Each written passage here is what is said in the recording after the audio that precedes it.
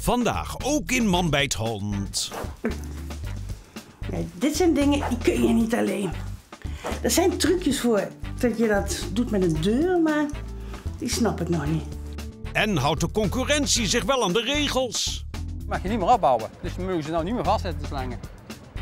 Nee, eigenlijk niet. Nee, wat dit nou doet, mag nu ook niet.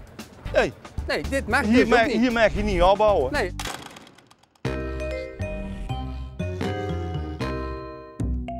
De hele maand oktober is het wereldwijd borstkankermaand.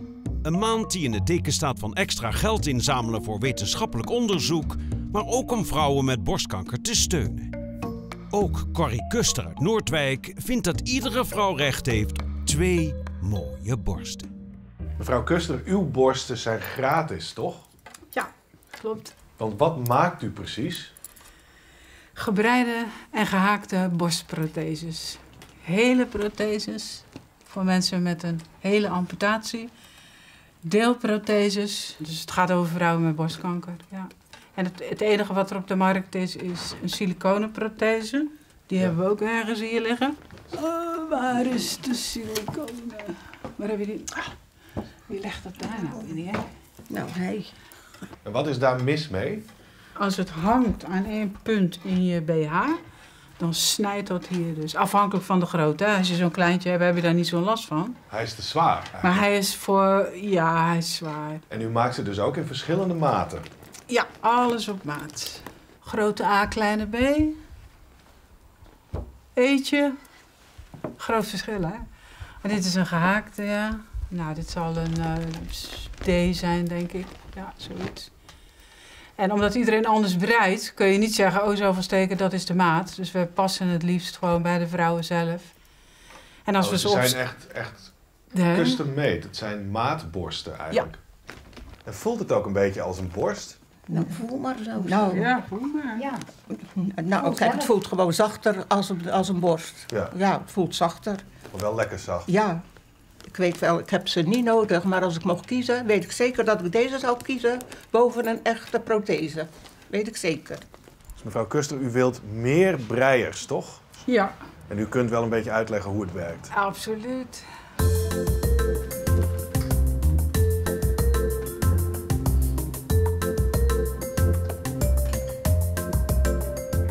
We beginnen door met drie steken op drie naalden. Dat is het moeilijkste punt en dan begin je dus bij de tepel, want we gaan van boven naar beneden. Top-down. Top down, dus dan zet je twee steken op iedere naald en dan ga je zes toeren maken met zes steken.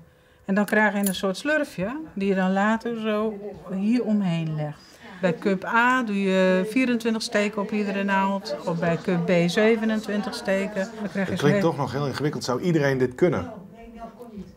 Ja, voor u is het misschien... Maar iemand die breidt... Die kan dat allemaal. Ja, die snapt dat wel. En weet je, je, je kan altijd bellen. Eh, en welke potentiële borstbreiers zouden dan vooral moeten reageren? Ik heb ze nu het liefst, want daar hebben we er nog maar heel weinig zitten. In Gelderland, Utrecht en in het noorden mogen er ook wel een paar bij. Ja, in het oosten, ja, daar zitten wel een paar hele goeie. Dus dat hoeft niet per se. En Limburg zou ook nog wel fijn zijn, ja. Dus de Ja, mensen die kijken, die weten wat ze moeten doen nu daar. ja, ja. ja, ja. Breien. ja.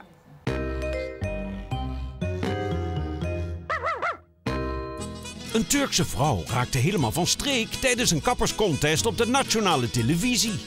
Na lang wikken en wegen besloot ze dat een deelnemende kapper haar haren helemaal mocht afknippen. Toen ze het resultaat in de spiegel zag, schrok ze en had vreselijke spijt. Ze barstte hysterisch in huilen uit, trok haar kappersmantel af en viel toen flauw voor de strenge jury. De babbelbox heeft soms ook spijt als haren op zijn hoofd en vraagt... Welk moment zou u graag terug willen draaien? dat ik eh, jarig was en ging met mijn vader fietsen. En toen ging ik kikkervisjes vangen, maar toen viel ik in een modderplas en toen was ik helemaal vies. Dat moment zou ik graag terug willen draaien. Ik zou graag een moment terug willen draaien dat ik net iets meer had gedronken dan ik dacht. En toen met een vriendinnetje had besloten om 250 euro uit te geven om één iemand vier biertjes te zien atten. Dat moment is wanneer ik op een feestje met mijn glas de woonkamer binnenliep.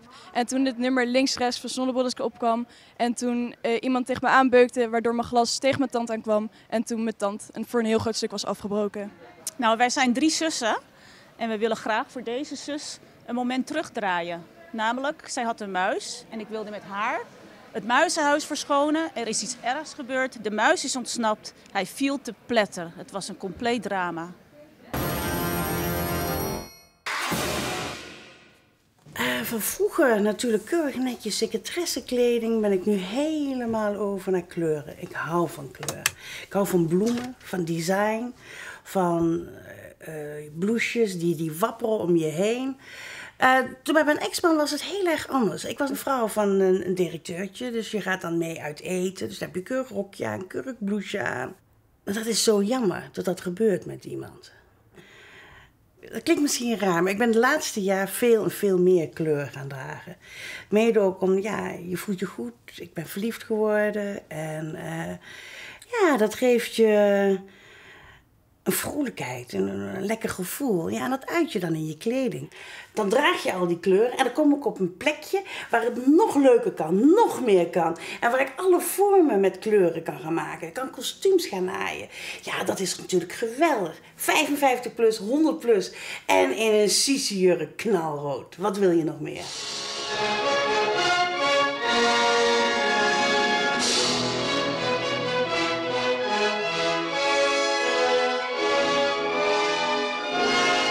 Hoe zit dat nou? Heerlijk.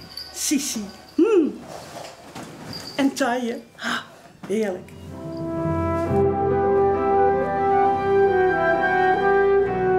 Eigenlijk fantasy dus. Wat is dat precies? Fantasy is een droomwereld. Er zijn uh, mensen die komen in kostuums die niks betekenen, maar een fantasie zijn. Een gedachte, een droom. En die verwerkelijk je dan. Ik had het nooit verwacht, maar het is zo leuk. En het leukste is, je weet nooit wie er achter het kostuum zit.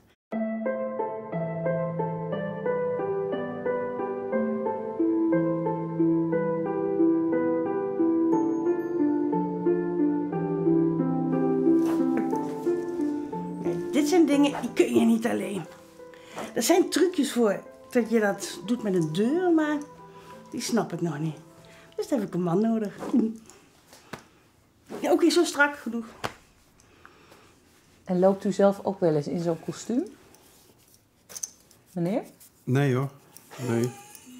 Nee, dankjewel. Mijn vriend vindt het geweldig om te zien. Hij uh, geniet er ook van, van alle figuren die langskomen.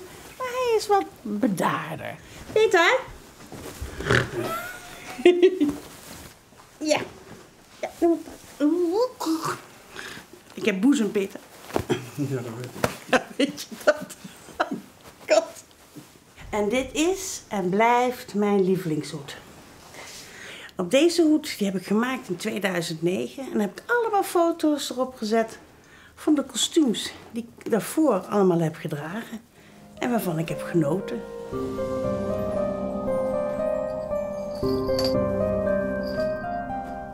Maak je alles zelf? Ja, dat is het leukste. Want dan kun je ook echt uh, je fantasie erin loslaten.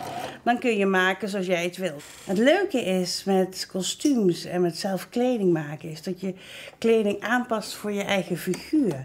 En ik zie om mij heen tot veel meer dames... nu ook met een maatje meer in kostuum gaan lopen. Dus jij bent echt een voorbeeldrol? Voor sommige mensen wel. Op dat gebied wel, ja. Vindt de hond dit dan ook leuk? Ja, ze vinden het geweldig. Nou, heel eerlijk, nee.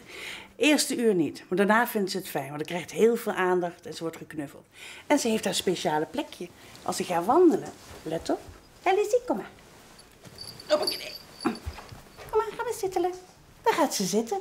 En dan lopen we zo een paar uur lang door een uh, feestje. Ja, hoe voel je je dan als je die kleren aan hebt? Heerlijk. En gewoon genieten. Uh, je voelt je een persoon, iets moois. Je hebt een plaatje gemaakt. En dat vergeten veel mensen. Als je een kostuum maakt, maak je een plaatje. En dat is gewoon echt heel erg mooi. Elk jaar genieten tienduizenden toeschouwers van het fruitcorso in het Gelderse Tiel. Achter al die pracht en praal schuilen maanden van noeste arbeid, bloed, zweet en tranen. Man bij het hond volgt het wel een wee van Corso Club Soelen. Vandaag houdt de concurrentie zich wel aan de regels.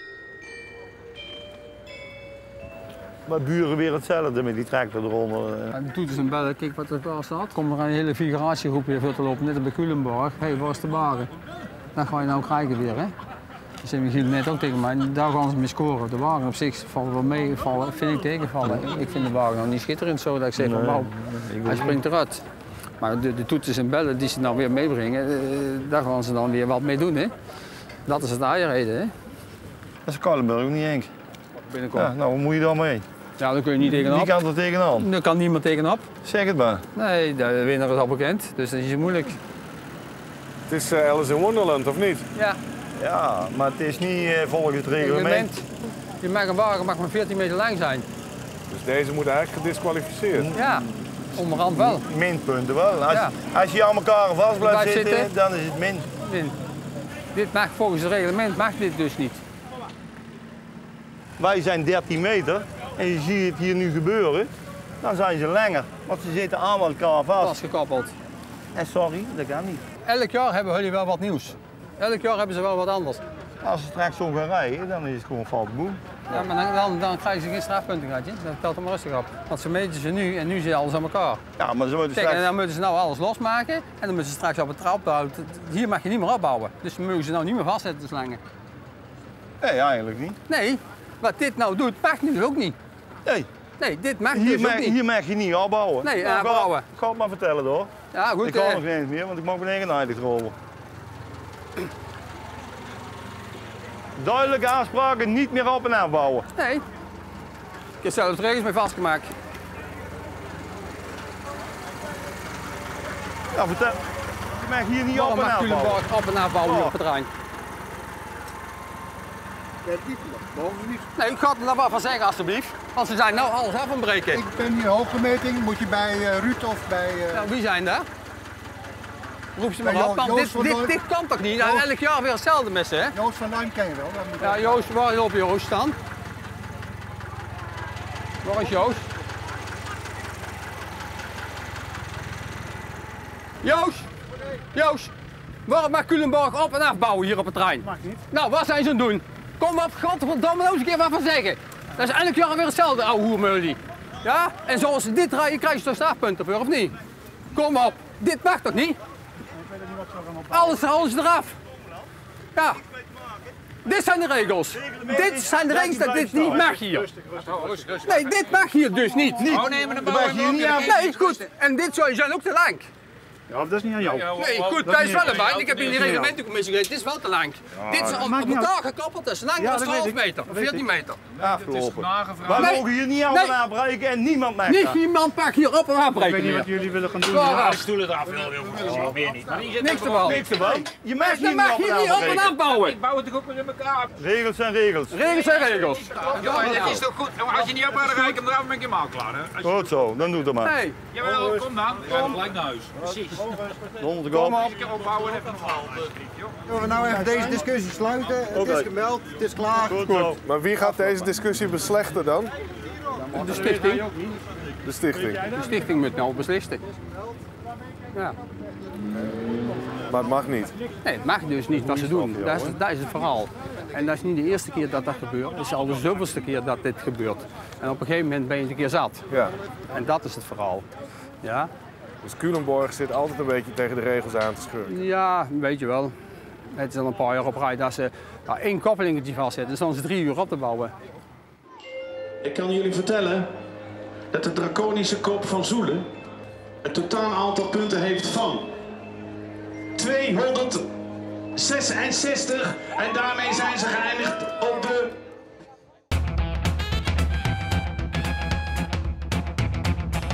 Ja, dit is mijn moeder en die eh, heeft de ziekte van Huntington eh, gehad. Die ziekte is voor 50% erfelijk en ik eh, heb heel lang gedacht dat ik het ook zou krijgen. De ziekte van Huntington is een neurologische ziekte.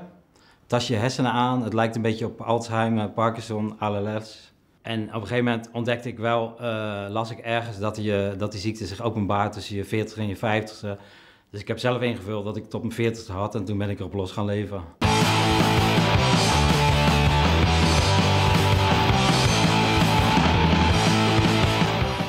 Onder andere een punkband, de Bips. En eh, ja, we hebben daar echt heel veel mee eh, meegemaakt. Op tv geweest, radio, veel opgetreden. En natuurlijk ook eh, drank en drugs. eh. dus ja, dat hielp wel als een soort nou, medicijn, zeg maar. Ik had wel een soort harnas om mij heen. Alsof ik zeg maar een, achter een beslagen ruit stond. Dat gaf wel een bescherming. Ik heb nog nooit zo lang op een play gezeten terwijl twee mannen aan het kijken zijn. Ik heb eh, met mijn band de Bib zijn we verschillende keer op tv geweest. En de eerste keer was eh, in de hitquiz eh, gepresenteerd door Henk Westbroek. En toen bleek daar Herman Brood ook in op te treden. En toen, had ik, toen op een gegeven moment kwam ik hem tegen en ik vroeg, wil je een tekening van me maken? Maar wat bleek, in dat pand zat blijkbaar ateliers en hij is naar een kunstenaar gegaan, heeft gewoon spullen gevraagd. En toen heeft hij dit schilderij van mij gemaakt met de, de Bibs erop, mijn bandnaam. Herman Brood, dat, die connectie had ik ook wel met hem toen ik op een gegeven moment hem beter leerde kennen. Niet persoonlijk hoor, maar dat als het op was, zeg maar, zijn leven, dan zou hij er een einde aan maken. En eh, die theorie heb ik zelf ook, eh, als ik de ziekte van, eh, die mijn moeder had ook zou krijgen, dan eh, zou ik er ook mee kappen. Maar eh, ja, ik ben de dans ontsprongen, gelukkig. Tien jaar geleden ben ik eh, getest, eh, met DNA getest in het Radboud ziekenhuis. eh, is er uitgekomen dat ik het dus niet kreeg. Dus eh, toen begon de rest van mijn eh, tweede leven. En ben ik mezelf gaan benoemen als fitpunk. Vond ik wel ironisch, punk en fit. Maar ik, eh, ja, ik sport nu heel veel. Ik eh, eet gezond en eh, probeer het alcohol te beperken tot één keer per week. Wel lekker blijven rock'n'rollen natuurlijk. Het is niet zo dat ik een of andere Instagram fitboy ben of zo. Ik ben 100% punk, dus ik blijf voor altijd punk. Wat ik ook al eet de hele dag wortels.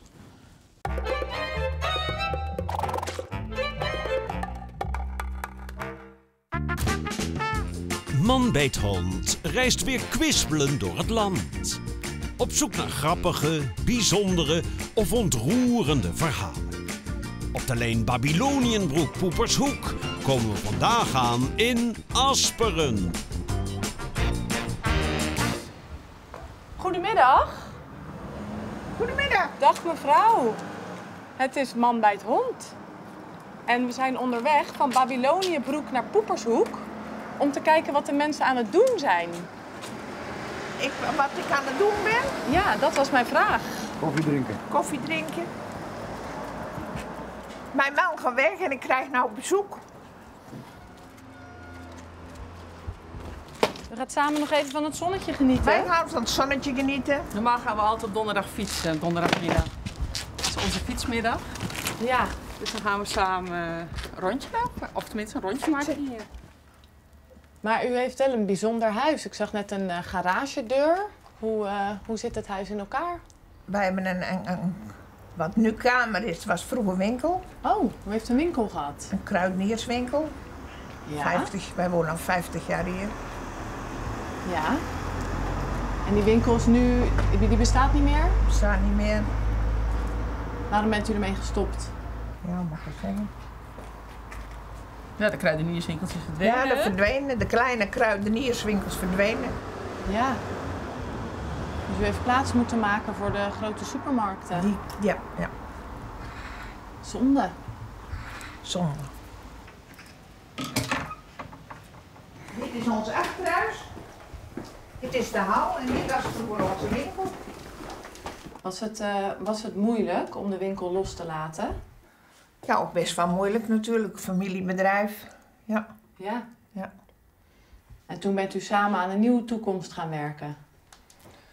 Nou ja, toekomst. Hij is brood, hij is weer naar school gegaan voor brood en maketbakker. Ja. Ja. De boeg omgegooid? De boeg omgegooid. Je moest wel iets anders.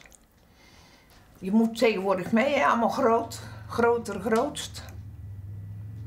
Ja. Nu gaat u zelf ook altijd naar de grote supermarkt? Ja, hier in Asperen hebben we ook de, een winkel, de Spar. Vroeger waren er heel veel winkels in Asperen. En die zijn allemaal weg? Allemaal weg, ja. Kijk eens, kom je thee? Dank je. Toen wij vro- toen 50 jaar terug hier kwamen wonen, waren er wel, wel 20 winkels in Asperen. Ja. Een schoenenwinkel, een eh, kruidenierswinkel, een slager. En, het is allemaal verdwenen. Dat is wel jammer. De melkboer komt niet meer langs, de bakker niet meer, de slager niet meer. Ja, het, het, het dorpse, ook al is het hier een stad, ver- verdwijnt een beetje. Ja, ja.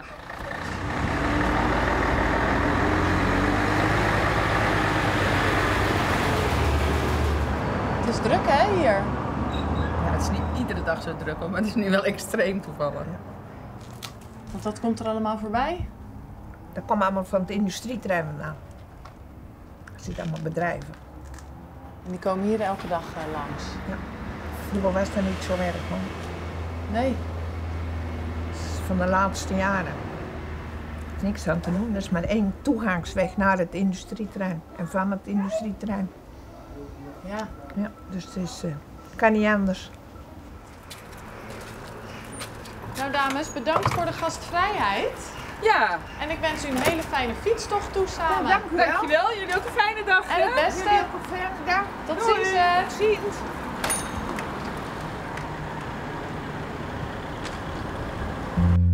Meer zien? Ga naar kijk.nl. Kijk opent je ogen.